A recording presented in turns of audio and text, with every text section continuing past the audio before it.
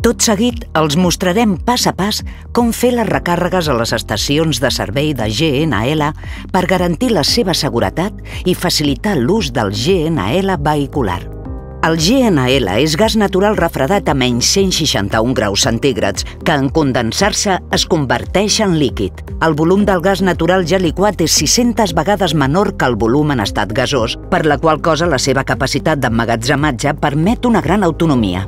Els vehicles pesats per als que està indicat el GNL passen unes proves de seguretat tan exigents que ofereix les màximes garanties. En la seva manipulació és important tenir molt de compte amb les fonts d'ignició, ja que, com veurem més endavant, el vapor del GNL és inflamable. A més, en ser un líquid criogènic, pot ocasionar congelació o cremada si entra en contacte amb la pell.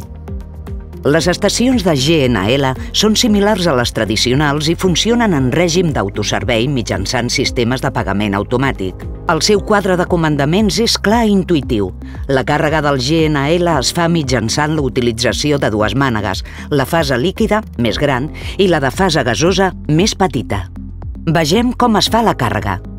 El vehicle ha d'estar estacionat amb el dipòsit cap a la sortidor per evitar forçar les mànegues de gas.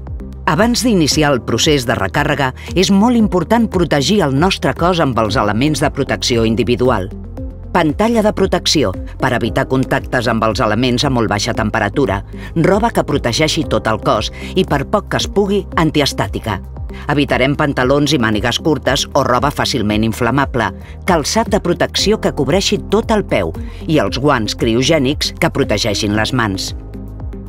Connectem la presa de terra i ja podem iniciar la connexió de les mànegues amb tota seguretat. Consisteix a retirar les tapes de protecció i assegurar-se que les boques de connexió del vehicle estan netes i sense rastre d'humitat. Si cal, farem servir aire comprimit o paper assecant. Connectarem primer la mànega de fase líquid, amb les palanques en posició retardada i pressionem mentre s'empenyen les palanques cap endavant. I després la de fase gas, que s'ajusta mitjançant el sistema de baioneta amb un gir de 90 graus i deixant la vàlvula del dipòsit oberta. Un cop tot és a punt, tan sols ens queda pressionar el botó Inici. La sortidor fa un control automàtic de la càrrega. L'operació acabarà quan la pantalla mostri el missatge Fins Summing. També es pot aturar en qualsevol moment mitjançant el botó Fin. Ja pot desconnectar les mànegues en ordre invers al que les va connectar. És a dir, primer ha de retirar la mànega petita amb un gir en el sentit invers de quan es va connectar. En segon lloc, cal retirar la mànega de fase líquida. S'estiren les palanques cap enrere, pressionem la palanca vermella i retirem la mànega i la retornem al seu lloc.